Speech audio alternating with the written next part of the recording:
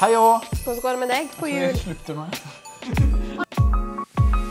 Hei, alle flotte folk i Hilsong Norge. Endelig er det julaften. Og fra Yes. alle oss til alle dere som ser på, riktig god jul. Ja, Fra vår stue til deres stue. Det er jo svært, da. Julaften er en stor Ja. dag. Ja, ja. Og eh, ribbe, pinnekjøtt Jeg kjenner lukta av pinnekjøtt og kanel og blander med litt rømmegrøt og alt det der samtidig. Deilig.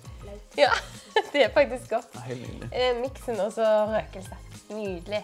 Sylvester, hva er din eh, beste liksom, eh, greie på julaften? Nei, jeg syns det er veldig koselig, og jeg får sånn skikkelig gode vibes når jeg ser at noen åpner julegaven fra meg og blir glade. Ja, Og det er jo et veldig fint uh, moment på julaften. enig. Um, og så er det kjempekoselig å komme ned trappa, se den julestrømpa henge foran peisen og bare Digg inn. digge inn, ja. Ja, Hva ser du på TV? Um, julesvingen. Ja, Det er kult. best, beste julekalender. Enig. Ja, helt nydelig. Hva med deg, Olivia? Hva syns du er magisk med julen? Gaver og drikke og mat. ok, det er bra. Hvis Kort og velge, konsist. hvis du skulle velge en ting fra julestrømpen som du ikke kan leve uten, kommer jo an på, det er forskjellig hvert år.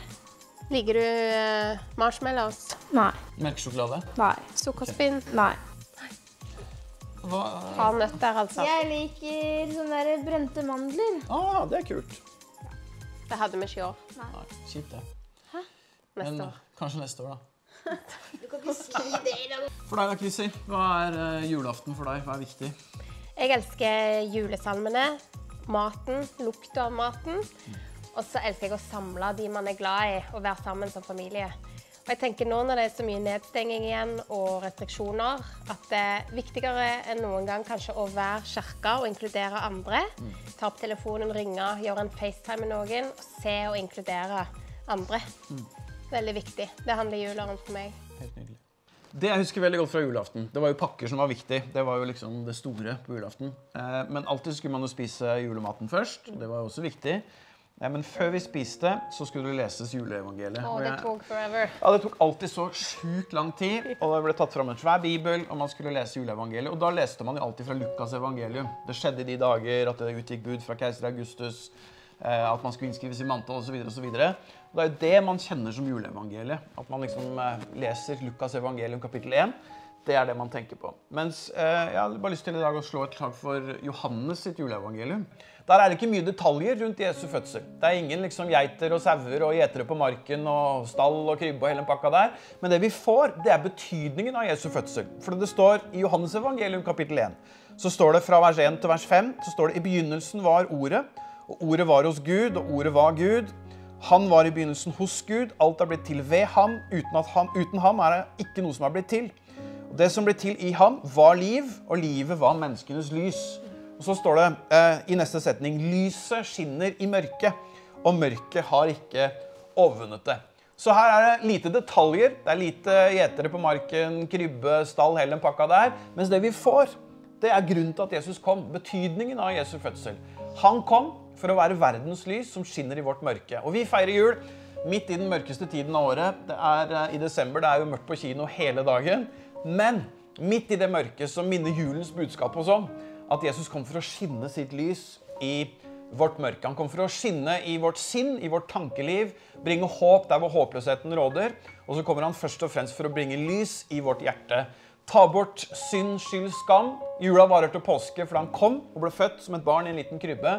Men så går han til korset, og han soner straffen for absolutt alle menneskers synder. Og på den måten så bringer han lys og håp inn i vår verden og inn i vårt hjerte.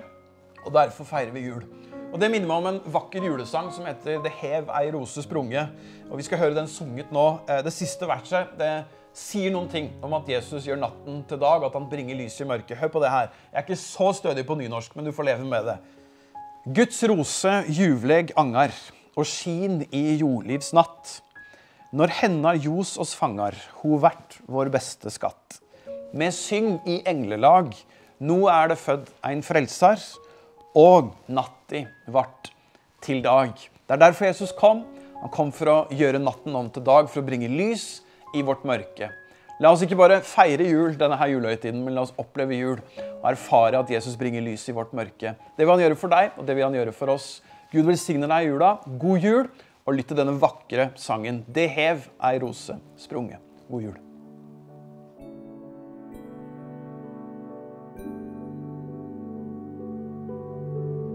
Det hev ei rose sprunget ut av ei rot så grann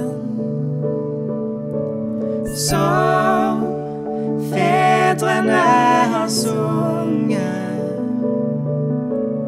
Av Jesu rotoran.